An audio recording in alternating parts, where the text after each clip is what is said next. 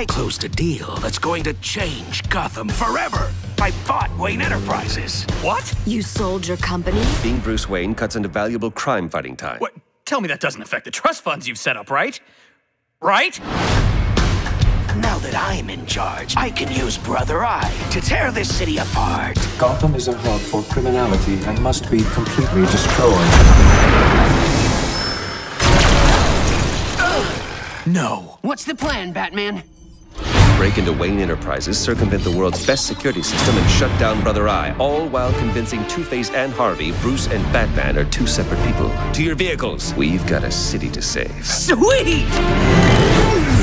Robin? I mean, Batman is here! Yes, the Dark Knight. Voice analysis reveals insufficient gravel in your speech. You are not the real Batman. Really? Why are you still talking to me like Batman? But I can fix it!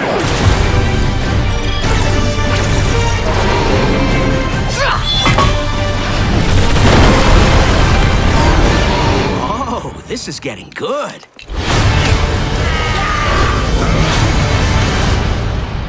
Woohoo! Bat Family has got this!